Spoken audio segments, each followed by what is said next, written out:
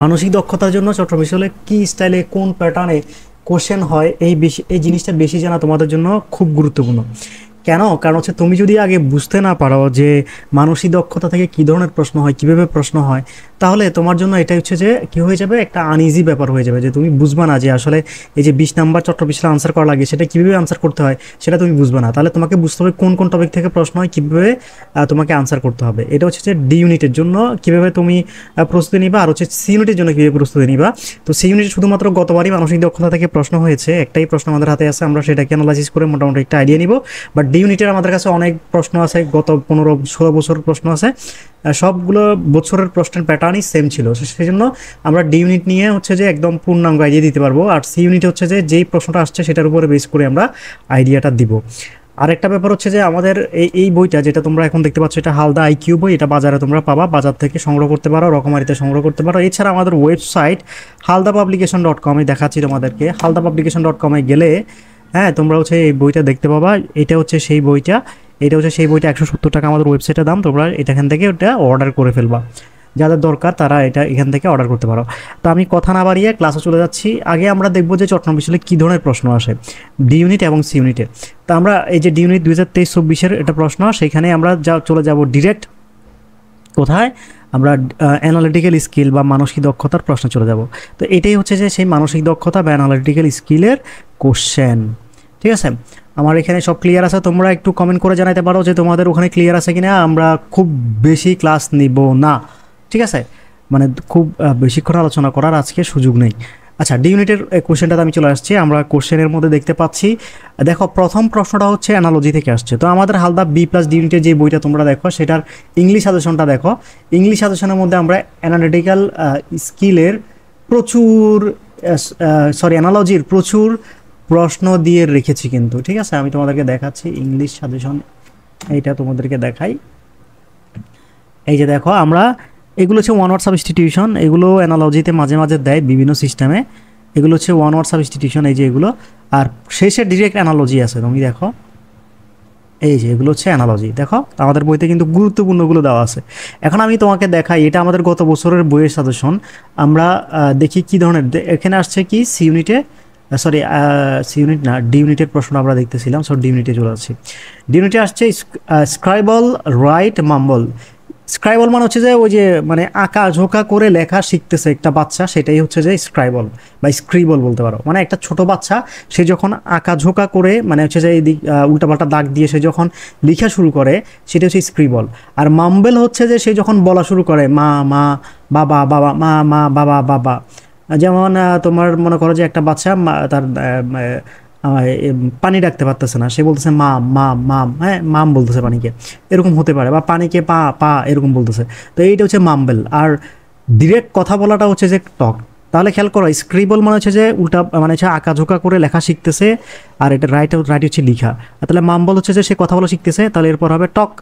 একদম ক্লিয়ার একদম মানে হচ্ছে যে কি বলা যায় নিট অ্যান্ড ক্লিন আশা করি তোমরা বুঝে গেছো হ্যাঁ? তাহলে দেখো, ইংরেজির প্রশ্ন বেশি আসে চট্টগ্রাম বিশ্ববিদ্যালয়ে। আমি দেখাচ্ছি তোমাদেরকে ইংরেজি থেকে প্রশ্ন কয়টা হয়। মানে এটা যদিও বিশ্লেষণ দক্ষতা বাট ইংরেজি থেকে প্রশ্ন বেশি হয়। ঠিক আছে, আমি তোমাদেরকে একটু দেখাচ্ছি যে কয়টা প্রশ্ন ইংরেজিতে হয়। দেখো, একটা, দুইটা, তিনটা, চারটা, এইটাও ইংরেজি থেকে হয়েছে মূলত। পাঁচটা, ছয়টা, বেশিরভাগই ইংরেজি থেকে। সাত, আট, নয়, দশ মানে ভোকাবুলারি রিলেটেড এগারো, বারো বারোটা, এর পরেরগুলো মোটামুটি তুমি এটাও বলতে পারো, তেরো, ঠিক আছে? এর পরেরগুলো হচ্ছে যে ম্যাথমেটিক্যাল কিছু প্রশ্ন থাকে বর্ণকোট থাকে, এটাকে বলে বর্ণকোট এটাকে বলে বর্ণকোট তারপর এটা এটা এক ধরনের সূত্র বা ম্যাথ বলতে পারো, এটাও ম্যাথ তারপরে এটাও বর্ণকোড এক ধরনের, বা ধারাও বলা যায় এটাকে, তারপরে এটা হচ্ছে যে ম্যাথ এটা হচ্ছে যে সম্পর্ক নির্ণয়, এটাও হচ্ছে যে অঙ্ক, ঠিক আছে? এখন খেয়াল করো, তাহলে বারো থেকে তেরো নাম্বার আমি এখানে দেখাইছি তোমাদেরকে যে সেটা ওয়ার্ড মিনিং থেকে আসতেছে আলটিমেটলি ভোকাবুলারি থেকে আসতেছে অ্যানালজি থেকে আসতেছে। এখন এটার জন্য তোমাদের এই আমাদের হালদা বইটা পড়তে হবে, এই বইটা পড়তে হবে ডি ইউনিটের জন্য। সাথে হচ্ছে যে আমাদের এই যে ইংলিশ সাজেশন যেটা দেওয়া আছে, এই সাজেশনটা তোমাদেরকে ফলো করতে হবে, এই সাজেশনটা তোমাদেরকে ফলো করতে হবে, ঠিক আছে? এখন আমরা ডিউনিটের, এটা হচ্ছে গত বছরের প্রশ্ন দেখলাম। এবার তার আগের বছর প্রশ্নটা একটু দেখি। তার আগের বছর এটা শিপ দিই দেখো এটা বাইশ তেইশের শিপ দিই তোমাদেরকে আগে দেখাই। তারপর আমি আলোচনায় যাব চলেছি। আমি জানি প্রশ্ন কোথা থেকে আসে, বাট আমি তোমাদেরকে দেখানেই দেখা, দেখাচ্ছি কারণে যাতে তোমাদের মনোযোগ আসে যে আমি আমি যে ক্লাস নিব সেইটাতে যাতে তোমাদের মনোযোগ চলে আসে, পূর্ণাঙ্গ, যে তোমরা বুঝতে পারো যে কোথা থেকে প্রশ্ন হয়। খেয়াল করো, এই যে আবারও আমি মানসিক দক্ষতার প্রশ্ন আসছে, আবারও দেখো অ্যানালজি অ্যানালজি অ্যানালজি দেখো ইংলিশ চারটা পেয়ে গেছি, পাঁচটা মানে বোকাউলের বলতে পারো, ছয়টা সাত, আট, একদম হচ্ছে যে এখানে দশ পর্যন্ত। দশ, এগারো, বারো, বারোর পরে তেরো। দেখো, এখানেও তেরোটা প্রশ্ন আছে, ঠিক আছে? তাহলে তেরোটা প্রশ্ন ডিরেক্ট ভোকাবুলারি বা ইংরেজি প্রস্তুতি থেকে আসছে, আমরা বলতে পারি। এরপরে এটা হচ্ছে ধারা বলতে পারি, একটা বা কোড বলতে পারি, ঠিক আছে? ধারা বা কোড এটা হচ্ছে অঙ্ক, এটাও ধারা, তারপর এটা হচ্ছে অঙ্ক, এটাও অঙ্ক, এটা হচ্ছে যে অঙ্ক অঙ্কের সাথে রিলেটেড এটাও অঙ্কের সাথে রিলেটেড এখানে সম্পর্ক নির্ণয় দেয় নাই। তাহলে খেয়াল করো, এটা হচ্ছে শিপ থ্রি এবার শিপ টুতে চলে যাই, আমরা আমরা বুঝে গেছি মোটামুটি ভোকাবুলারি থেকে বারো চোদ্দোটা দিবে। বারো থেকে তেরো বা চোদ্দোটা দিতে পারে। বারো, তেরো, চোদ্দোটা দিতে পারে। আমরা সেটা বুঝে গেছি। এবার আমরা শিপ টু এর ডিউনিট শিপ টু গত বছরের শিপ তিনটা ছিল ডিউনিটে আমরা শিপ টু এর প্রশ্নটা দেখতেছি। গত বছর বলতে তার আগের বছর, এটা আরও দুই বছর আগের প্রশ্ন। আমরা শিপ টু এর অ্যানালিটিক্যাল প্রশ্নটা দেখতেছি, তোমরা দ্রুত আমার সাথে থাকো। দেখো, এখানেও সেই একই রকম একই রকম একই রকম একই রকম। একই রকম একই রকম ইংরেজি থেকে প্রশ্ন আসছে এগারোটা, ঠিক আছে? এগারোটা প্রশ্ন। এটাও তুমি ধরতে পারো বারোটা, ঠিক আছে? বারোটা প্রশ্ন আসছে ইংরেজি থেকে, ঠিক আছে? তাহলে আমরা বুঝে গেলাম।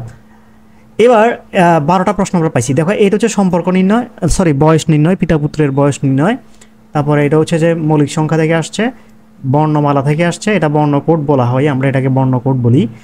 এটা হচ্ছে কি, মিল অমিল বের করা দেয় অনেক সময়, এটা হচ্ছে সিরিজ। তাহলে খেয়াল করো, এবার তোমাদের নিশ্চয়ই আইডিয়া হয়ে গেছে যে প্রশ্ন কোথা থেকে হয়, তোমাদেরকে কি পড়তে হবে? এটা হচ্ছে ডি ইউনিট সংক্রান্ত হ্যাঁ? তো আমরা একটু পরে ডিটেলস আলোচনায় যাব। এবার তোমরা দেখো তো আমাদের হালদা আইকিউ বইটাতে কী দেওয়া আছে? সম্পর্ক মিলানো ওই যে বাবা মায়ের সাথে মানে পিতা পুত্রের বা মা মা, দাদা, নানি, নানির বা পরিবারের বা বিভিন্ন লোকের মধ্যে বা মানুষের মধ্যে সম্পর্ক নির্ণয় এটা আমাদের বইতে আছে। দেখো পেজ, এটা সূচিপত্র আমাদের বইয়ের, হালদা আইকিউ বইয়ের সূচিপত্র যেটা আমি একটু আগে তোমাদেরকে ওয়েবসাইটে দেখাচ্ছি ঠিক আছে? দিক নির্ণয় এটাও পরীক্ষা মাঝে মাঝে দেয় বর্ণকোড প্রতিবারই একটা করে দেয়। গাণিতিক সমস্যা যেটা আমি দেখাইছি, সমস্যা আছে। এটা এখানে গাণিতিক সম- সমস্যা আছে নৌকা সংক্রান্ত, সংখ্যা, তারপর হচ্ছে গড়, গাণিতিক সমীকরণ সরল অঙ্ক ঘড়ির ঘড়ি এবং সময় বিষয়ক সমস্যা প্রিভিয়াস যে প্রশ্নগুলো আছে সেগুলোর আমরা অনুশীলনী দিয়েছি, ঠিক আছে? এরপর দিন, তারিখ, মাস, বছর নির্ণয় করা আসে। ব্যতিক্রম খুঁজে বের করতে বলে, যেটা আমি তোমাদেরকে এখানে দেখাইছি।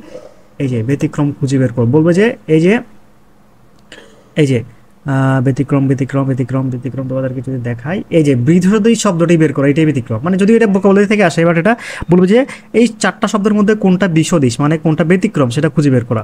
যেমন এটা তোমাদেরকে আমি একটা উদাহরণ দিয়ে দেখাই, বলছে যে অ্যাপটিচিউড প্রোপেন্সিটি ট্যালেন্ট ইম্পার্শিয়াল এখন এটার মধ্যে মানে কোনটা হচ্ছে যে তোমার ব্যতিক্রম বা বৃষদিশ সেটা তোমাদেরকে বের করতে হবে। দেখো অ্যাপটিচিউড মানে কি? অ্যাপটিচিউড মানে হচ্ছে যে তোমার একটা মানে হচ্ছে যে দৃষ্টিভঙ্গি পজিটিভ দৃষ্টিভঙ্গি। মানে যেটা দিয়ে হচ্ছে তুমি কি করতে পারো? কোনো কিছুকে সুন্দর করে বিচার করতে পারো। একটা দৃষ্টিভঙ্গি, এটা তোমার একটা যোগ্যতা বলতে পারো। তাহলে এটাকে আমরা যোগ্যতা বলতে পারি, ঠিক আছে? এটা দিয়ে তুমি ভালো একটা জিনিসকে একটা জিনিসকে ভালোভাবে বিচার করতে পারবা। প্রোপেন্সিটি প্রোপেন্সিটি হচ্ছে প্রবণতা। প্রবণতা মানে ভালোর দিকের প্রবণতাকে বুঝে এটা নর্মালি আর ট্যালেন্ট মানে প্রতিভা প্রতিভা। তাহলে খেয়াল করো, এগুলো সবগুলো মোটামুটি কাল লাইনে আছে। আর ইম্পার্শিয়াল যেটা, সেটা হচ্ছে পক্ষপাতহীন। এটা কোনোভাবেই লাইনে নেই। এ দেখো, এই অ্যাপটিচিউড ট্যালেন্ট আর প্রোপেন্সিটি মোটামুটি এগুলো একটু একটা ব্যক্তির ভালো গুণাবলী এগুলোকে বলতেছি আমরা। ঠিক আছে? কিন্তু তোমার এই পক্ষপাতহীন পক্ষপাতহীন এটা বাকিগুলোর সাথে যাচ্ছে না। কারণ এখানে পক্ষপাত যুক্ত বা পক্ষপাত পক্ষ নিয়ে কোনো কিছু বলাই নেই। ঠিক আছে? সেই জন্য এটা হচ্ছে আনসার এবার খেয়াল করো, এখানে এটা এটা যদিও হচ্ছে বিশদিশ বের করো বাট এটা এখানে দিছে অ্যানালজি স্ট্রং কীভাবে অ্যানালজির এটা অ্যানালজি না এটা আসলে ডিগ্রি থেকে দিছে। দেখো এখানে strong strongest good better weak weaker bad oats তাহলে দেখো, এটা হচ্ছে যে তোমার কম্পারেটিভ কম্পারেটিভ এটাও কম্পারেটিভ বাট এটা হচ্ছে দিছে সুপারলেটিভ সো এটা হচ্ছে আনসার কারণ এটা মিল নেই। ঠিক আছে? এভাবে করে তোমাকে মিল অমিল খুঁজতেও বের করতে বলতে পারে, সেটাও কিন্তু আমাদের বইতে দেওয়া আছে। The real meaning of a sentence সেন্টেন্সের মিনিং বের করতে বলে অনেক সময় এটা আগে দ্বিতীয় ইদানিং একটু কম দেয়। তারপর আমাদের এই বইতেও ভোকাবুলারি আছে, যেটা আমাদের এই সাজেশনেও আছে, আবার এই বইতেও আছে, তোমরা সবগুলোই পড়তে হবে। ওয়ার্ড মিনিং দিছি সিনোনিম দিছি ওয়ান ওয়ার্ড সাবস্টিটিউশন দিছি ফ্রেজেন ইডিয়মস দিছি, আয়না, প্রতিফলনজনিত সমস্যা এবং অ্যানালজি দিছি, ঠিক আছে? এরপরে চট্টগ্রাম বিশ্ববিদ্যালয় সব বিভিন্ন বিশ্ববিদ্যালয়ের প্রশ্নের সমাধান আছে। এটা এখানে এখানে এখানে হচ্ছে খেলাটা, এখানে হচ্ছে সব বিশ্ববিদ্যালয়ের প্রশ্নের সমাধান আছে। সব বিশ্ববিদ্যালয় বলতে জাহাঙ্গীরনগর, চট্টগ্রাম রাজশাহী আরও যে যে বিশ্ববিদ্যালয়ে মেন্টাল অ্যাবিলিটি থেকে কোনো- না কোনো দিন প্রশ্ন হয়েছে, সেগুলোকে আমরা এখানে প্রত্যেকটা বছরের প্রশ্ন আলোচনা করা আছে আমাদের এই প্রশ্নের এই বইয়ের দ্বিতীয় সেকশনে তো আমরা সেদিকে যাচ্ছি না, আমরা এই টপিকগুলো থেকেই আজকে আলোচনা করব। কিন্তু তার আগে আমরা একটু দেখে নিতে হবে যে সি ইউনিটে যারা মেন্টাল অ্যাবিলিটি আনসার করবা, তাদের প্রশ্ন কীরকম হয়? তানবীর ক্লিয়ার বলছ, নাহিদ ইসলাম ইউটিউব চ্যানেলের নাম কি? এডু লেকচার বিডি, এটা এডু লেকচার বিডিতে পরবর্তীতে এটা তোমার আপলোড হবে এই ভিডিওটা। ঠিক আছে? ওকে এবার আমরা চলে যাচ্ছি যেখানে আমরা ছিলাম। আমরা সি ইউনিটের মেন্টাল অ্যাবিলিটির কোশ্চেনটা অ্যানালিটিক্যাল স্কিলের কোশ্চেনটা দেখব। দ্রুত দেখব, তারপর আমরা কিছু টপিক আজকে আমরা আলোচনা করব। অ্যানালিটিক্যাল স্কিল দেখো এটা আমি বলে তারপর তোমাদেরকে ওইদিকে যাচ্ছি যে কোথা থেকে প্রশ্ন হয় একটু তোমরা দেখো, ঠিক আছে? খেয়াল করো। প্রথম প্রশ্নটা, বলছে যে এসেন্সিয়াল পার্ট অফ স্কুল স্কুলের কোনটা এসেন্সিয়াল পার্ট ঠিক আছে স্কুলে কি থাকতেই হবে? স্কুলে তোমার বিল্ডিং আছে, রাস্তাঘাট আছে টিচার আছে কিছু কিন্তু স্টুডেন্ট নাই তারপরে ওটা স্কুল বলা যাবে না। তো স্কুল হতে হলে ম্যান্ডাটরি যে জিনিসটা, সেটা হচ্ছে স্টুডেন্ট তাহলে স্টুডেন্ট অবশ্যই লাগবে, এটা হচ্ছে ম্যান্ডাটরি এটা ছাড়া স্কুল হবে না বুক ছাড়া স্কুল হবে রিপোর্ট ছাড়া স্কুল হবে টেস্ট ছাড়াও স্কুল হবে। কিন্তু স্টুডেন্ট ছাড়া কখনো স্কুল হবে না। এখন তুমি প্রশ্ন করতে পারো বুক ছাড়া কীভাবে স্কুল হবে? হ্যাঁ বুক ছাড়াও স্কুল হইতে পারে। বুক ছাড়া স্কুল কীভাবে হবে? অনলাইনে পড়াবে পিডিএফ পড়াবে, সমস্যা কী? ঠিক আছে? যেমন বাংলাদেশ উন্মুক্ত বিশ্ববিদ্যালয়, ওরা তো ক্লাসই অফলাইনে হয় না, অনেকগুলো ক্লাস অনলাইনে হয় ডিরেক্ট তো তারা তো ঠিকই পড়াচ্ছে, ঠিক আছে? তারপর এসেন্সিয়াল পার্ট অফ নলেজ জিজ্ঞেস করছে নলেজের কোনটা এসেন্সিয়াল পার্ট মানে নলেজের গ্যাদারিং করতে হলে তোমাকে কোনটা মাস জানতে হবে। নলেজ গ্যাদারিংয়ের জন্য স্কুলে যেতে হবে না স্কুল না যেলেও চলবে। টিচারও লাগবে না। টিচার না থাকলেও হবে। টেক্সট বুক না পড়লেও হবে। কিন্তু নলেজ গ্যাদারিং করতে হলে তোমাকে অবশ্যই অবশ্যই রিড করতে হবে রিড করতে হবে রাইট সো এটাই হচ্ছে আনসার তাহলে খেয়াল করো, এটাও কিন্তু কোথা থেকে আসছে? এটা যদিও এক ধরনের মানে অ্যানালিটিক্যাল স্কিলের মতো বাট এটাও ইংলিশের মতোই বোঝাচ্ছে মোটামুটি, ঠিক আছে? বাট এটা একটা জেনারেল নলেজের মতো ধরতে পারো মানে একটা বেসিক একটা আইকিউ আর কি। আর্টিস্ট ইজ টু পেন্টিং আর আর্টিস্টের কাজ হচ্ছে পেন্টিং করা, এটা আসলে অ্যানালজি থেকে দিছে, এই প্রশ্নটা অ্যানালজি থেকে দিছে। আর্টিস্টের কাজ হচ্ছে পেন্টিং করা, আর টিচারের কাজ হচ্ছে কি করা? টিচিং দেওয়া। দেখছ? ইজি কিন্তু। হ্যাঁ ওই ডি ইউনিটের মতোই। বাট এখানে একটু ব্যতিক্রম আছে। সি ইউনিটে একটু ব্যতিক্রম আছে কিছু টপিক সেগুলো ডি ইউনিটে আসে না। ঠিক আছে? আমরা দেখাবো সেটা কি। লিখছে যে, দেখো, একই একই আবার কাফ ইজ টু কপি মানে কপি থাকে কাপের মধ্যে। আর বলের মধ্যে কি থাকবে? স্যুপ থাকবে রাইট ওকে এবার খেয়াল করো নট বিলংস টু আদার বলছে যে ওই যে ডি ইউনিটের মতো, বলছে কোনটা একে নিচের কোন অপশনটি অন্যগুলোর সাথে যায় না? আমরা একটু আগে যেটা করছি মানে কোনটা বিশদিশ বা কোনটা ব্যতিক্রম, এই কথাটা জিজ্ঞেস করছে। তাহলে দেখো, ঢাকা বলছে, ব্যাংকক বলছে, জাকার্তা বলছে, চট্টগ্রামও বলছে, ঠিক আছে? দেখো তো এখানে সবগুলো হচ্ছে যে কোনো না কোনো দেশের রাজধানীর নাম, কিন্তু চট্টগ্রাম কোনো দেশের রাজধানীর নাম না। ঢাকা রাজধানীর নাম, জাকার্তা হচ্ছে ইন্দোনেশিয়ার রাজধানীর নাম, ব্যাংকক হচ্ছে থাইল্যান্ডের রাজধানীর নাম, কিন্তু চট্টগ্রাম কোনো দেশের রাজধানীর নাম নয় তো এটাই হচ্ছে আনসার কারণ এখানে বলছে নট বিলং টু আদার এবার খেয়াল করো, এই কোশ্চেনটা। You are given two statements number one and two read both the statements and mark your answer বলছে যে এখানে দুইটা স্টেটমেন্ট দেওয়া আছে, একটা স্টেটমেন্ট ওয়ান স্টেটমেন্ট টু বলছে এই দুইটা স্টেটমেন্ট তুমি পড়ো, এরপরে এখান থেকে এই চারটা অপশন থেকে একটা অপশন হচ্ছে যে, কী করো? হ্যাঁ তোমার উত্তরটা বেছা, বাছাই করে নাও। এইখান থেকে একটা উত্তর বাছাই করে নাও। এখানে এখানে উত্তর বাছাই করতে হবে এই দুইটার উপরে বেস করে। এক এবং দুইয়ের উপরে বেস করে। অর্থাৎ এক এবং দুই হচ্ছে উদ্দীপক, মনে করতে পারো, সৃজনশীল প্রশ্নের উদ্দীপক। বলতেছে যে the police authority has recently caught a group of house breakers মানে ওই যে যারা বাসা ভেঙে ফেলে চোর আর কি আলটিমেটলি তো তাদের একটা গ্রুপকে পুলিশ হচ্ছে অ্যারেস্ট করছে। এটা গ্রুপ এক নাম্বার প্রশ্নে, এক নাম্বার ইয়াতে বলছে স্টেটমেন্টে তাহলে পুলিশ হচ্ছে যে, যারা হাউস ব্রেক করতেছে, তাদের একটা গ্রুপকে কি করছে? কট করছে, ধরছে, ঠিক আছে? এটা প্রথম বক্তব্য।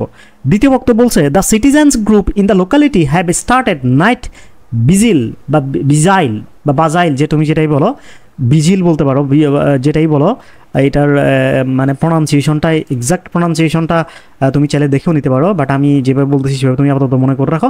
ইন দ্য এরিয়া অর্থাৎ যে, ওই যে বিজিল্যান্ড বলে না বিজিল্যান্ড মানে সদা সগ্র, সদা জাগ্রত। তো ওই যেহেতু লোকালিটিতে পুলিশ কি করল, চোরদের একটা গ্রুপকে ধরছে সেই জন্য লোকালিটির যারা নাগরিক সিটিজেন তারা কি করল যে সেখানে তোমার পাহারা বসালো। কি বসালো? রাতে পাহারা বসালো। কেন পাহারা বসালো? পুলিশ ধরে নিয়ে গেলো, তাও পাহারা বসালো। তাহলে পুলিশ যখন ধরছে, তখন লোকালিটির মানুষ বুঝতে পারছে যে এলাকায় চোর ডাকাত আছে। এর আগে কিন্তু, পুলিশ ধরার আগে কিন্তু এলাকার মানুষ সেটা বুঝতে পারে নাই। আমার কথা কি ক্লিয়ার মানে হচ্ছে যে মানে আগে পাবলিক মানে অসচেতন ছিল, তারা ভাবস, ভাবছে এই এলাকায় চোর নাই। হ্যাঁ তারা সেই জন্য রাতে পাহারাও বসায় নাই। কিন্তু যখন পুলিশ চোর ধরে নিয়ে গেলো, তখনই তারা বুঝতে পারছে যে এলাকায় চোর ডাকাত আছে সেই জন্য তারা পাহারা বসাইছে। তার মানে এখন তোমাকে তুমি বলতে পারো যে ভাইয়া পুলিশ তো ধরে নিয়ে গেছে গা, আর কেন পাহারা দরকার? কারণ যাদেরকে ধরছে তারা ছাড়াও আরও চোর থাকতে পারে সেটা এলাকাবাসী বুঝতে পারছে। যেহেতু অলরেডি একটা গ্রুপকে ধরে নিছে তাহলে এখানে আরও চোর থাকতে পারে। এটা থেকে কি বুঝতে পারছ? আমরা যে আমরা যে সিদ্ধান্ত নিয়েছি সেটা সেটা থেকে এবার আমরা এখানে আনসার করব। Statement one is the cause and statement two is the effect হ্যাঁ এটা সঠিক। স্টেটমেন্ট ওয়ানের কারণেই কিন্তু স্টেটমেন্ট টুটা নেওয়া হয়েছে। মানে ওই যে চোর ধরেরা পুলিশ যখন ধরছে, সেটার কারণেই কিন্তু নাগরিকরা সেখানে পাহারাদার বসেছে সো এক নাম্বার হচ্ছে সঠিক, আমার মতে। আমি জানি না, এরপরে কি হচ্ছে আমি দেখব। এটাকে এখনই আমি দেখা দিব না, আমি আরও আরও দেখব। Statement two is the cause and statement one is the effect no statement দুই কিন্তু কারণ না। হ্যাঁ ঘটনার কারণ না। ঘটনার কারণ এক নাম্বারটাই এক নাম্বারের কারণে দুই নাম্বার করছে ঠিক আছে? সো এটা হচ্ছে আমি এটাকে আনসার হিসেবে নিতে পারতেছি না। সিতে বলছে both statements one and two are independent clause না ইন্ডিপেন্ডেন্ট ইন্ডিপেন্ডেন্ট কজেস বলছে। না, এরা এরা স্বাধীন বলতেছে। বলছে এক, একের সাথে দুইয়ের কোনো সম্পর্ক নাই বা দুইয়ের সাথে একের সম্পর্ক নাই। না, অবশ্যই সম্পর্ক আছে। চোর কে পুলিশ ধরে নেওয়া যাওয়ার কারণেই এলাকাবাসী সেখানে পাহারা বসাইছে। অবশ্যই সম্পর্ক আছে। তারপর বলছে যে বোথ দ্য স্টেটমেন্টস তাহলে এটাও কাটা, এটাও কেটে দিচ্ছি। Both the statements one and two are effect of some common causes না কিছু কমন কজের এগুলো ইফেক্ট নয় সব কমন কজগুলো কিন্তু আমরা জানি না, ঠিক আছে? এখানে সেগুলো উল্লেখ নাই। সো এটাও আনসার না। আমরা যেটা শুরুতে বলছি সেটাই হচ্ছে আনসার তুমি দেখো আনসার হচ্ছে এ এরপর তুমি এটার দিকে তাকাও। এটাও এক ধরনের মেন্টাল অ্যাবিলিটি বাট এটা সম্পর্কের মতো বা হচ্ছে যে তোমার মানে কি বলব? কে বড়, কে ছোট এটা নির্ণয় করার মতো। বলছে যে এই স্টেটমেন্টগুলো পড়ো। তিনটে স্টেটমেন্ট আছে। দেখো, এটা হচ্ছে এক, এটা হচ্ছে দুই, এটা হচ্ছে তিন। তিনটে স্টেটমেন্ট আছে। পরে বলছে যে if if the first two statements are true যদি প্রথম দুটি স্টেটমেন্ট সত্য হয়, দ্বিতীয়টি কি তৃতীয়টি সত্য না মিথ্যা আমাদেরকে বলা নাই? বলছে যে প্রথম দুইটা যদি সত্য হয়, তাহলে থার্ড স্টেটমেন্ট সত্য না, সত্য নাকি মিথ্যা, নাকি ইরিভেলেন্ট ইরিভেলেন্ট মানে অপ্রাসঙ্গিক, নাকি আনসার্টেন আনসার্টেন মানে হচ্ছে যে অনিশ্চিত হ্যাঁ? কোনটা তোমাকে তাকাইতে হবে? তো এখানে এগুলোতে নর্মালি ট্রু বা ফলস বেশি হয়, ঠিক আছে? এই জিনিসটা মাথা রাখবা। তো তাহলে খেয়াল করো বলছে যে আমাদের প্রথম দুইটা বাক্য বা স্টেটমেন্ট পড়তে হবে, সেটার উপর বেস করে তৃতীয় বাক্যটি সত্য নাকি মিথ্যা, নাকি অপ্রাসঙ্গিক, নাকি হচ্ছে যে এটা অনিশ্চিত, সেটা আমাদেরকে এই অপশনগুলো থেকে দেখাইতে হবে। এবার খেয়াল করো, প্রথম দুইটা বাক্যে কি বলছে? বলছে, Tania is older than Sonia. বা, তানায়া ইজ ওল্ডার দেন সোনায়া, যেটাই তুমি বলো, আমি তানিয়া, সোনিয়া বললাম। ঠিক আছে? তাহলে আমরা এখান থেকে দাগাই তানিয়া হচ্ছে সনিয়া থেকে ওল্ডার পরের বাক্যে বলছে যে, Munia is older than Tania. তাহলে মুনিয়া টানিয়া থেকেও বড়। তাহলে এম সবচেয়ে বড়। ঠিক আছে? এম হচ্ছে সবচেয়ে বড়, তারপর তানিয়া, তারপরে সনিয়া। এখান থেকে আমরা বুঝে গেছি। প্রথম দুইটা স্টেটমেন্ট থাকে। ঠিক আছে? পর স্টেটমেন্ট বলছে যে, Sonia is older than Munia. না, সনিয়া সবচেয়ে ছোট। তুমি দেখো, সনিয়া সবচেয়ে ছোট। বলছে, Sonia is older than, Munia. না, মুনিয়া থেকে সনি কখনোই বড় নয়, সে সবচেয়ে ছোট সনিয়া। কারণ আমরা এখানেই দেখতে পাচ্ছি। ঠিক আছে সো সনিয়া সবচেয়ে যেহেতু ছোট, আর এখানে বলছে, সনিয়া ওল্ডার তাহলে এটা ভুল, এই স্টেটমেন্ট তিন নম্বর স্টেটমেন্ট ভুল, তাহলে আমাকে দেখাইতে হবে ফলস তো আমরা এখানে ফলস দেখাইছি। দেখো, এই ধরনের এই ধরনের প্রশ্ন জাহাঙ্গীরনগরে আসে, চট্টগ্রাম বিশ্ববিদ্যালয়ের ডিউনিটি আসে না বাট সিউনিটি দিছে, তাহলে তোমাদেরকেও দিতে পারে। ঠিক আছে মানে তোমরা যারা সিউনিটি নতুন করে পরীক্ষা দিবে, তাদেরকে দিতে পারে। বলছে, এখানে কয়টা স্কোয়ার আছে একটু গুণে দেখতে। কয়টা স্কোয়ার আছে গুণে দেখতে? এখন খেয়াল করো, এখানে তোমরা যেটা করবা, আগে হচ্ছে যে ছোট ভেতরে যেটা আছে সেটা গুনতে পারো বা বড় যেটা আছে সেটা গুনতে পারো যে কোনো একটাকে ধরবা। তো আমি বাইরের বড়টাকে ধরতেছি। বাইরের বড়টাকে ধরলে ছোটোটাকে তো কথা মাথা থেকে চিন্তা, ভিতরে যে ছোটো একটা আছে না, এই যে এটা এটার কথা চিন্তা মাথা থেকে ঝেড়ে ফেলে দাও। মনে করো যে এটা নাই ভেতরে। তাহলে এটা যদি না থাকে, তাহলে আমাদের এই যে বড়টা এখন এরকম হচ্ছে আলটিমেটলি বড়টা এরকম হচ্ছে। ঠিক আছে? এখন এখানে কয়টা বর্গ আছে? দেখো এখানে আছে একটা, দুইটা, তিনটা চারটা। আর এই যে বড় যেটা, পুরোটা, সেটা হচ্ছে একটা বর্গ। আয়ত নিতে বলো নাই। আয়ত নিতে বললে আমাদেরকে আরও নেওয়া লাগতো। কোনগুলো নেওয়া তো আমি দেখাচ্ছি তোমাদেরকে। যদি বলতো আয়ত নাও, তাহলে আমাদেরকে আরও নেওয়া লাগতো। কোনগুলো নেওয়া লাগতো আমি তোমাদেরকে দেখাইতে পারব। কালারটা ভিন্ন হলে ভালো হইতো, বাট কালার এখন আসতেছে না। যাই হোক আমি তোমাদেরকে দেখাই। এই যে, এটাও তখন একটা আয়ত হতো হ্যাঁ? আয়ত কিন্তু আমাদেরকে নিতে বলে না এটা একটা আয়ত। আমাদের বর্গ বলছে সো আমরা বর্গ নিয়ে চিন্তা করতেছি। তাহলে খেয়াল করো, বর্গ এই এক, দুই, তিন চার, এই চারটা বর্গ আমি পাইছি, আর এই যে বড় একটা, এটা হচ্ছে পাঁচটা। এটা হচ্ছে ভেতরে ছোটোটা যে ছোটোটা ছাড়া চিন্তা করছি আমি। তাহলে শুধু বড়টাতে পাইছি আমরা কয়টা? পাঁচটা, ঠিক আছে? পাঁচটা। এবারে যে ভেতরে যে ছোট একটা আছে, দেখো সেটাতেও সেম না। সেটাতেও এই যে দেখো তো একই রকম চারটা ভাগ আছে। তো চারটার জন্য চারটা আর ছোটোটা নিজে একটা, তাহলে পাঁচটা, তাহলে পাঁচ যোগ পাঁচ। অর্থাৎ মোট এখানে দশটা বর্গ আছে। তো এরকম করে হচ্ছে চট্টগ্রাম বিশ্ববিদ্যালয় সিনিটের প্রশ্ন আসে। এছাড়া এখানে এই যে দেখো এটা হচ্ছে সময় নির্ণয় করতে দিছে, এটা ডিউনিটিও আসে, আমরা সেটা দেখাবো তোমাদেরকে কোনো এক সময়। তারপর হচ্ছে তোমার এরপরে একটা আবারও আর্গুমেন্ট দিছে। তারপরে এরকম কিছু তোমার বক্তব্য মিলাইতে হবে। এটা ওই যে এটার মতো আলটিমেটলি এই যেগুলোর মতো। এগুলোর মতো। ফর্টি টু করছ তো? ফর্টি টুর সাথে যেহেতু করছ ফর্টি টুর সাথে বাকিগুলোর মোটামুটি মিল আছে। এটা একটু দেখতে পারো। Arrange the following words in meaning sequence এটা ডিউনিটি বসে অনেকে মনে করে এটা ডিউনিটি আসে না, এটা ডিউনিটি আসে আসলে। মানে এটা এই এই এখানে যে চারটা শব্দ আছে এগুলোকে মিনিংফুলি তোমাকে অ্যারেঞ্জ করতে হবে। কোনটা আগে হবে, কোনটা পরে হবে, সেটা নির্ধারণ করতে হবে। ঠিক আছে? তো আমাদের বাইশ মিনিট অলরেডি ক্লাস হয়ে গেছে, আমরা বেশি আগাবো না। আমরা এরপরে একটা দুইটা টপিক পরে তোমাদেরকে শেষ করে দিব, ত্রিশ মিনিট পর্যন্ত ক্লাস দিব। তাহলে দেখো, এখানে হচ্ছে অ্যাপয়েন্টমেন্ট ইন্টারভিউ রিটায়ারমেন্ট তারপর আছে জব ভ্যাকেন্সি তাহলে জব ভ্যাকেন্সি আগে তৈরি হয় মানে হচ্ছে চাকরির আগে পদ খালি হয়। পদ খালি হওয়ার পরে ইন্টারভিউ দেওয়া হয়। ইন্টারভিউ নেওয়ার পরে এটা হচ্ছে যে অ্যাপয়েন্টমেন্ট দেওয়া হয় অ্যাপয়েন্টমেন্ট দেওয়ার পরে রিটায়ারমেন্টটা যাই আমরা। তাহলে আগে হবে চার। এক শুরুতে হবে চার চার শুরুতে কোথায় আছে? এই যে এতে আছে, দেখো। শুরুতে চার, তারপরে দুই তারপর এক অ্যাপয়েন্টমেন্ট তারপর লাস্ট হচ্ছে রিটায়ারমেন্ট তিন। সো এটাই হচ্ছে আনসার এভাবে করে তোমাদেরকে সি ইউনিটের যে প্রশ্ন সেগুলোকে দেখাইতে হবে, ঠিক আছে? এটা সি ইউনিটের প্রশ্নে আমরা এটা এখন দেখলাম সলিউশনটা আমরা এখন দেখলাম। ওকে এবার আমরা আবার চলে যাচ্ছি আমাদের মূল ক্লাসে বা হালদা আইকিউ যে বইটা সেটাতে। এখানে দেখো, আমরা আজকে যেটা নিয়ে আলোচনা করব সেটা খুব গুরুত্বপূর্ণ তোমাদের। সম্পর্ক মিলানো এটা পরীক্ষা সেটা তোমরা প্রায় বেশিরভাগ স্টুডেন্টই পারো। আমি একটা কঠিন তোমাদেরকে নিয়ম আজকে দেখাই, এবং আমাদের ইউটিউব চ্যানেল এডু লেকচার ভিডিওতে অনেকগুলো মেন্টাল অ্যাবিলিটি ক্লাস দেওয়া আছে, আমি নিছি। আমাদের এই বইয়ের রাইটার সৌমিত্র গুহ, সে নিছে। সো তোমরা সেগুলোও দেখতে পারো। আমি একটা কঠিন টপিকে চলে যাচ্ছি আজকে। মানে আগে কখনো আলোচনা করি না এরকম একটা টপিকে চলে যাচ্ছি। এই টপিকটা আজকে আমরা আলোচনা করব। এই টপিকটা দিন, বার, তারিখ, মাস, বছর ইত্যাদি নির্ণয় এটা আলোচনা করব। আর হচ্ছে যে তোমার ঘড়িতে সময় নির্ণয় হ্যাঁ? তাহলে আমি সময় নির্ণয়টা আগে বলি, এটা একটু ছোট সেই জন্য দুইটা টপিক আলোচনা করব, একটা সময় নির্ণয় আর একটা হচ্ছে দিন, বার, তার, তারিখ, মাস, এটা নির্ণয়। এটা সাতচল্লিশ পেজে আছে। আর সময় নির্ণয় হচ্ছে যে চৌত্রিশ পেজে আছে। সো আমি চৌত্রিশ পেজে মোটামুটি চলে গেলে পাবো। চৌত্রিশ পেজে এই যে চৌত্রিশ পেজ এখানে আমরা পাচ্ছি কি? এই যে আচ্ছা এটা মনে হয় এই যে চৌত্রিশের জায়গায় এটা পঁয়ত্রিশ পেজ হয়ে গেছে। এটা পরে আমরা বইটা আর একটু আপডেট দিয়েছিলাম তো এই জন্য চৌত্রিশ পেজের জায়গায় পঁয়ত্রিশ পেজ চলে গেছে। আচ্ছা যাই হোক, গড়ি- ও সময় বিষয়ক গাণিতিক সমস্যা এবং সমাধানের কৌশল, ঠিক আছে? এখানে নানা রকম এই আমরা নিয়মগুলো দিয়ে দিছি যে কীভাবে কি হয়, এগুলো তোমরা পড়বা, পড়ে একটু বোঝার চেষ্টা করবা। বাট আমি এখন যেহেতু তোমাদেরকে বলতেছি, এটা তোমার আর আমি পড়তেছি না, আমি ডিরেক্ট কোশ্চেনে গিয়ে তারপরে হচ্ছে তোমাদেরকে নিয়মটা পড়াবো, ঠিক আছে? দেখো বলছে যে, দেখো, এই এই প্রশ্নটা একটু পড়ো। বলছে, ঘড়িতে এখন আটটা বাজে। ঘণ্টার কাটা ও মিনিটের কাটার মধ্যবর্তী কোন কত? মানে ঘড়ির ঘণ্টার কাটা এবং মিনিটের কাটার মধ্যবর্তী কোন কত জিজ্ঞেস করছে? তো এটা হচ্ছে ঘড়িতে আটটা বাজে বলে দিছে, ঠিক আছে? তো তোমাদেরকে যেটা করতে হবে, এরকম মানে বলে দিবে যে, এতটা বাজছে।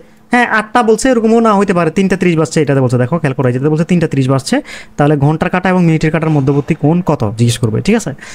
তো ঘণ্টার কাটা আর মিনিটের কাটার মধ্যবর্তী কোণ যদি তোমাদেরকে নির্ণয় করতে বলে, তোমাদেরকে যেটা করতে হবে সেটা আমি এখন দেখাচ্ছি। একটু খেয়াল করো। সেটা হচ্ছে তোমাদেরকে যেটা করতে হবে, সেটা হচ্ছে যে একটা সূত্র আগে শিখতে হবে। সেটা হচ্ছে eleven M minus sixteen H divide by two আর এখানে হচ্ছে একটা মডুলাস দিতে হবে। এই জিনিসটা একটু মাথার মধ্যে সেট করো। আর এই সূত্রটা কীভাবে মুখস্থ করবে সেটা আমি বলে দিচ্ছি। তোমাদের তোমাদের অনেকের সূত্রটা মনে থাকবে না সেই জন্য আমি বলে দিচ্ছি। তোমরা আমাকে এই এই জিনিসটা বুঝে নাও, এম মানে মিনিট আর এইচ মানে হচ্ছে ঘণ্টা। ঠিক আছে? তো তোমরা যেটা মনে রাখতে হবে, সেটা হচ্ছে ডিভাইড বাই টু এটা সবসময় মনে রাখো হ্যাঁ? আর পাশে মডুলাস দিবে এটাও মনে রাখো।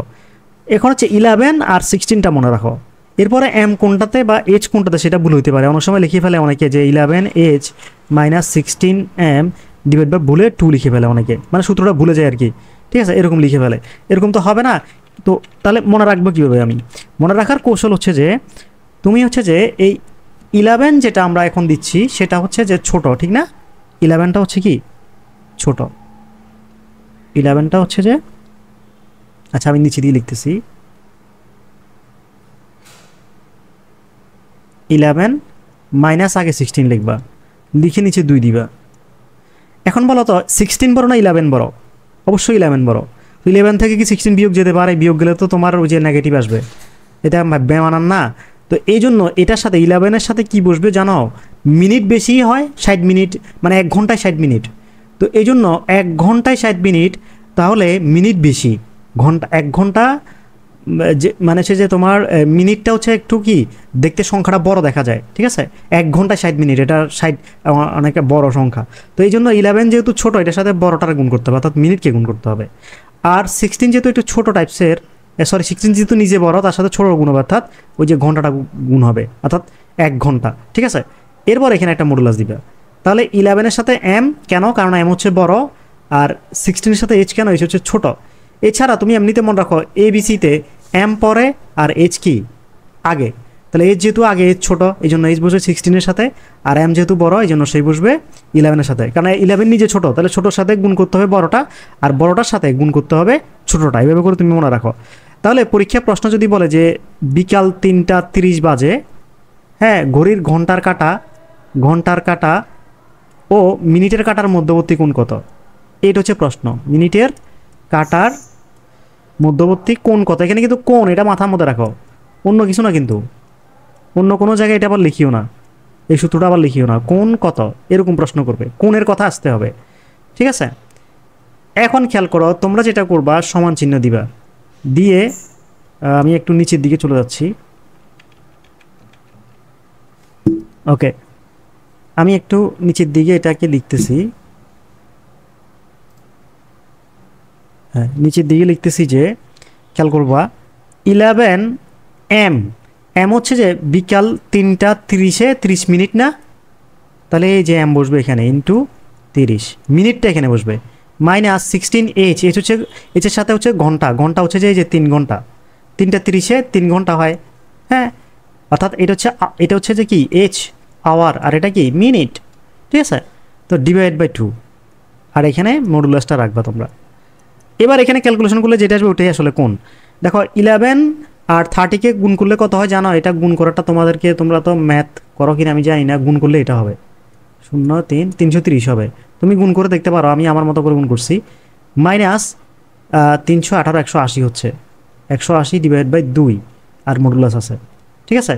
এরপরে একশো, এই তিনশো তিরিশ তিরিশ থেকে একশো আশি বিয়োগ যাবে। একশো আশি বিয়োগ করলে হয় এখানে হয় পাঁচ এখানে হয় পাঁচ, আর এখানে হচ্ছে যে কত? দুই। দুশো পঞ্চাশ। দুশো পঞ্চাশকে দুই দ্বারা ভাগ করতে হবে, ভাগ করলে হবে একশো পঁচিশ। একশো পঁচিশ ডিগ্রি, ঠিক আছে? তাহলে উত্তর হচ্ছে একশো পঁচিশ ডিগ্রি, অর্থাৎ তিনটা তিরিশ বাজে, ঘণ্টা এবং মিনিটের কাটার মধ্যবর্তী কোণ হচ্ছে একশো পঁচিশ ডিগ্রি। একশো একশো বিশ ডিগ্রি দেখাচ্ছে কেন?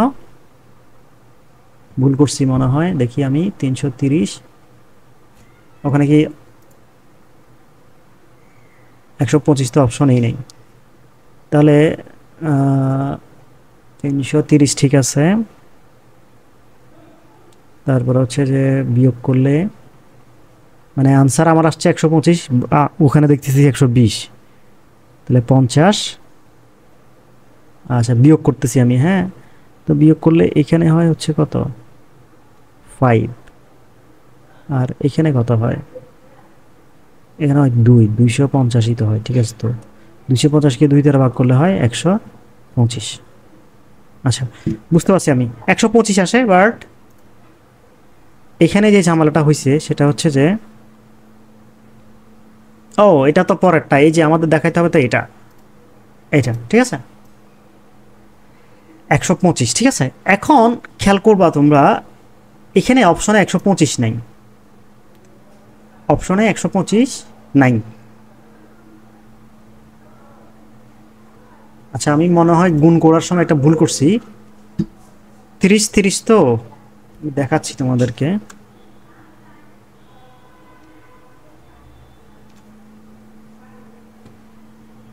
ওই যে গুণ করার সময় ভুলটা হয়েছে, এটা এখন কারেকশনে যেতে হবে। সেটা হচ্ছে যে, দেখো, খেয়াল করো, আমাদের ছিল কি? ইলেভেন গুণ তিরিশ তিরিশ মাইনাস সিক্সটিন এইচ এইচ হচ্ছে কত? তিন, তিনটা তিরিশ হ্যাঁ? ডিভাইড বাই দুই ছিল। খেয়াল করো। তো তিরিশ গুণ ইলেভেন মানে হচ্ছে কত জানো? এই যে এটা। তাও তো তিনশো তিরিশ হয়। তাহলে তো আমি ঠিক আছি মনে হচ্ছে। তিরিশ ইলেভেন তিরিশ তিরিশ, তিনশো তিরিশ। তিনশো আঠারো, একশো আশি। বিয়োগ করলে কত হয়? এখান দিয়ে হচ্ছে বিশ। বিশ এখানে হয় দেড়শো সরি ওই যে আমার দুশো পঞ্চাশ আসছে, এই জন্য ঝামেলাটা বাড়ছে। এখানে হয় দেড়শো, তো দেড়শোকে হচ্ছে দুই দ্বারা ভাগ করতে হবে। ঠিক আছে? তাহলে এই যে এখানে দেড়শো হচ্ছে, আর এখানে নিচে দুই আছে মডুলাস দিতে পারো চাইলে। আর তাহলে এখানে পঁচাত্তর আসতেছে, পঁচাত্তর ডিগ্রি ঠিক আছে? কোন যেহেতু বলছে সেই জন্য পঁচাত্তর ডিগ্রি। খেয়াল করো, এটা কত নাম্বার? এটা হচ্ছে যে এই যে এটা, দুই নাম্বার দুই নাম্বার, ঠিক আছে? ওকে এই যে পঁচাত্তর ডিগ্রি অপশনে আছে। এবার এটা দেখো, বলছে আটটা বাজে। আটটা বাজে কত ডিগ্রি? হ্যাঁ? ঘণ্টার কাটার, মিনিটের কাটার মধ্যবর্তী কোন কত জিজ্ঞেস করছে? কয়টা বাজে? আটটা বাজে। এখন খেয়াল করো, যখন আটটা বাজে বলছে, তখন তোমাকে যেটা করতে হবে, সেটা হচ্ছে যে আটটা বাজে তোমাকে মিনিট কত আর ঘণ্টা কত এটা চিন্তা করতে হবে। তাহলে আটটা বাজে এজ কত? এজ হচ্ছে যে আট ঘণ্টা। মিনিট কত? আটটা বাজে, মিনিট হচ্ছে শূন্য, কারণ তখন বরাবর আটটা, এক মিনিটও হয়নি এখনও তা আমাদের সূত্র কি? ইলেভেন এম এম হচ্ছে zero minus sixteen H H কত? এইচ পাই সি আট ডিভাইড বাই দুই। এই এই জন্য আমাদেরকে মডুলাস দিতে হয়। দেখো, এখানে কিন্তু এখন জিরো চলে আসতেছে। উপরে কিন্তু জিরো মাইনাস কত? ছয়, ছয়টা আটচল্লিশ, চারশো আশি ডিভাইড বাই দুই। ছয়টা আটচল্লিশ। আর এখানে হচ্ছে কত? জিরো। ঠিক আছে, আটটা বাজে বলছে, আমাদের কিছু করার নাই। তাহলে দুইশো, এখানে কাজ করলে আসবে, কাজ করো, কাজ করলে কত আসবে? দুশো চল্লিশ ডিগ্রি আসতেছে হ্যাঁ? দুশো চল্লিশ ডিগ্রি হওয়ার কথা, কিন্তু অপশনে যদি দুশো চল্লিশ না থাকে তুমি এই খেয়াল করো, এই যে, এটা হচ্ছে যে ঘড়ি। তো ঘড়ির আটটা বাজে, যখন আটটা বাজে, তখন হচ্ছে যে মিনিট থাকে এখানে আর তোমার ঘন্টাটা থাকে এইখানে। ঠিক আছে? মানে আমি আর একটু তোমাদেরকে পরিষ্কার করে দেখাই, তাহলে তোমাদের বুঝতে পারবা। এটা হচ্ছে ঘড়ি।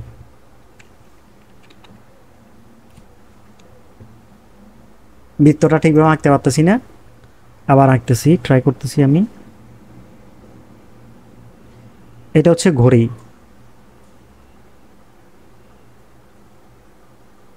এটা হচ্ছে মিনিটের কাটা।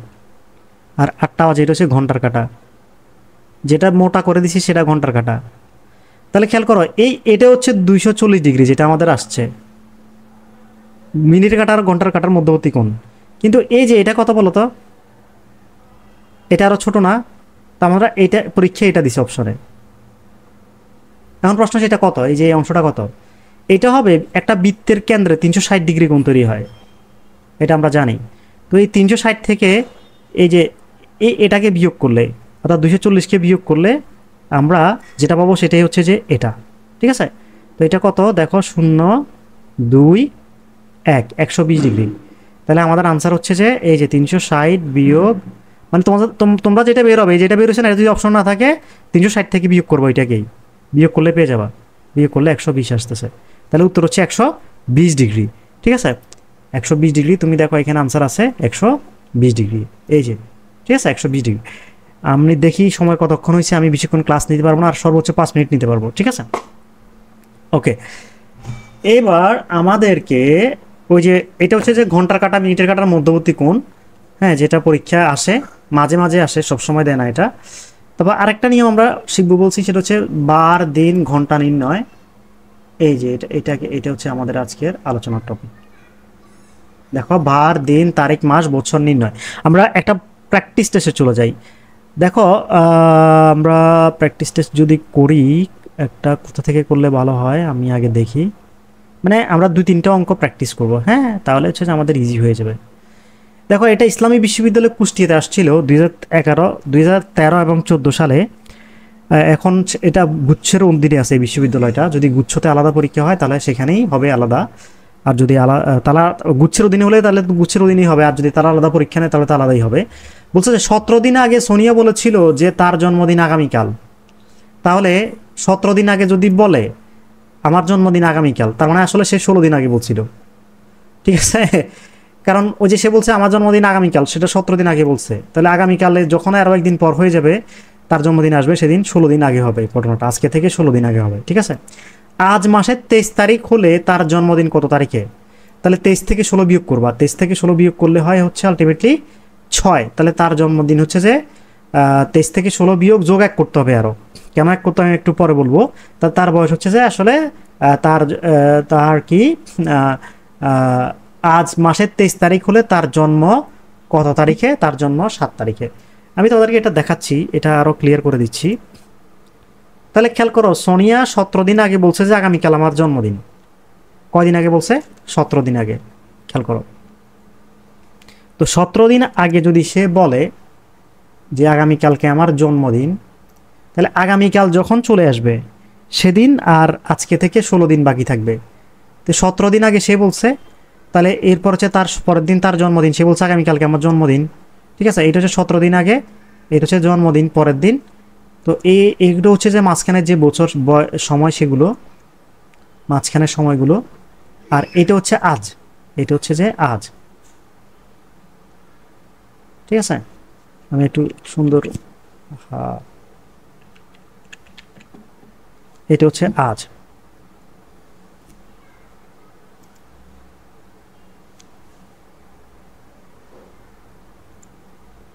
এটা হচ্ছে আজ। ঠিক আছে? এখন সতেরো দিন পরে আগে যখন সেটা বলছে, তাহলে জন্মদিন যেদিন ছিল, সেদিন থেকে আজকের গ্যাপ কত? ষোলো দিন। তার মানে ষোলো দিন আগে বলছে সে। ঠিক আছে? তো এরপরে বলতেছে যে, ষোলো দিন আগে বলছে, এরপরে বলতেছে যে, আজ যদি মাসের তেইশ তারিখ হয়, তাহলে আজকে যে তারিখটা, সেটা হচ্ছে মাসের তেইশ তারিখ। তাহলে ও বলতেছে যে, আজকে হচ্ছে মাসের তেইশ তারিখ, তাহলে জন্মদিনে কত তারিখ ছিল? ঠিক আছে? এই যে, জন্মদিনে কত তারিখ ছিল? বা জন্মদিন কোন তারিখে হয়েছিল? তাহলে এই যে স- এটা ষোলো দিন আগে, ষোলো দিন আজকে থেকে ষোলো দিন আগে বলছে, আর আজকে হচ্ছে যে তেইশ তারিখ। তাহলে এই তেইশ থেকে ষোলো আমি বিয়োগ করে ফেলতে হবে। বিয়োগ করলে তেইশ থেকে ষোলো জমি তুমি বিয়োগ করো, তাহলে হয় ছয়। ঠিক আছে? কিন্তু তুমি এই যে তেইশ এই তোমাকে এই যে জন্মদিন আর আজকের দিন হ্যাঁ এটা সহ তুমি যখন কাউন্ট করবা তখন আসলে আমি তোমাকে বলি যে শুক্রবার থেকে শুক্রবার, মনে করো আজকে শুক্রবার, এরপরে শুক্রবার যেদিন। এখন তুমি মনে করতে পারবা ইয়ে ভাই, এখানে মনে সাত দিন, না, এখানে আট দিন। তো এখানেও ঠিক এই যে ষোলো দিন আগে যে জন্মদিনটা হয়েছিল, আজ থেকে যে ষোলো দিন আগে যে জন্মদিনটা হয়েছিল, আজ সহ সেটা সতেরো দিন মাঝখানে। বুঝতে পারছ? তো সেই জন্য এই যে তোমার এই গ্যাপটা এই গ্যাপটা কি হবে? আলটিমেটলি কি বলব আমি? তখন তোমাকে যেটা করতে হবে সেটা হচ্ছে যে ও সরি এখান তো ডিরেক্ট আসতেছে। ষোলো থেকে, তেইশ থেকে ষোলো বিয়োগ গেলে সাত আসতেছে, ঠিক আছে? ওকে সাত আসতেছে। আমি ভুল করছি। তাহলে তেইশ থেকে ষোলো বিয়োগ করলে সাত আসে। এই যে, এটা আরেকটা জায়গায় অ্যাপ্লাই হয়। আমি সেই সেই জিনিসটা মনে করছি যে এখানে আসবে। এখানে এটা আসতেছে না। অর্থাৎ তোমার সাত দিন, ঠিক আছে? তেইশ থেকে ষোলো বিয়োগ করলে যতদিন, ততদিন সাত দিন। আশা করি ক্লিয়ার এরপরে খেয়াল করো, আমরা আরেকটা করি। আর একটা হচ্ছে যে, খেয়াল করো, এই কোশ্চেনটা খুব ইন্টারেস্টিং হ্যাঁ খুব ইন্টারেস্টিং খেয়াল করো, বলছে যে উনিশশো একাত্তর সালের এক জানুয়ারি যদি শনিবার হয়, উনিশশো বাহাত্তর সালের এক জানুয়ারি কী বার হবে? এখন এটা অনেকে ভয় আনসার করে না, ভাবে যে দূর এটা কি, কেমনে করল? হ্যাঁ কেমনে আমি জানব যে উনিশশো বাহাত্তর সালের এক জানুয়ারি কী, তাই কী বার হবে? মনে রাখবা, যে কোনো বছরের, যে কোনো বছরের পহেলা জানুয়ারি যে তারিখ, যে দিন হয় মানে যে বার হয়, ওই বছরের একত্রিশ ডিসেম্বর একই বার হয়। তুমি প্রয়োজনে ক্যালেন্ডারে দেখতে পারো তোমার মোবাইলে। হ্যাঁ? তাহলে খেয়াল করো, কোনো, যে কোনো বছরের, যে কোনো বছরের লিপিয়ার বাদে তবে লিপিয়ার বাদে। লিপিয়ার বাদে এক জানুয়ারি যে তারিখ হয়, একত্রিশ ডিসেম্বর একই একই একই দিন হয়।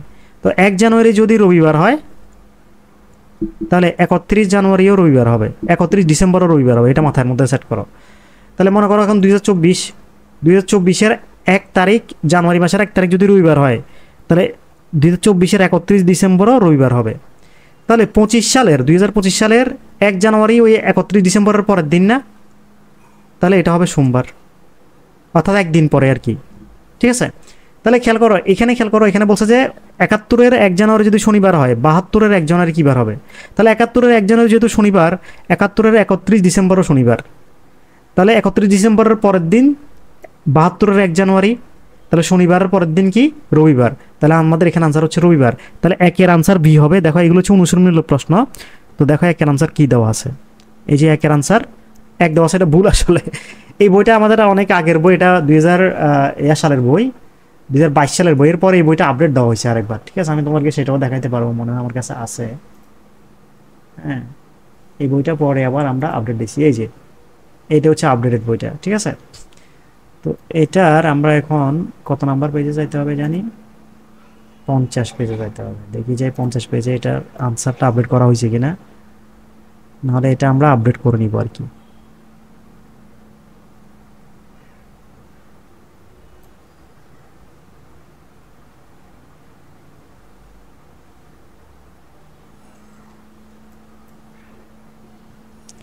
এই যে আমি আসলাম পঞ্চাশ পেজে।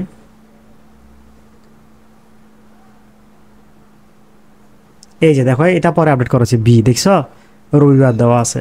তো এটা হচ্ছে আমাদের ওই আগের বইয়ের ওই, তাহলে এটা আমি আজকে না পড়াই, এটা পড়ালে এটাতে দুই একটা ভুল আছে, সেগুলো আবার চোখে পড়তে পারে। তখন তোমাদের আবার মাথা খারাপ হয়ে যাবে, তার চেয়ে বরং আমরা এখান থেকে পড়াই।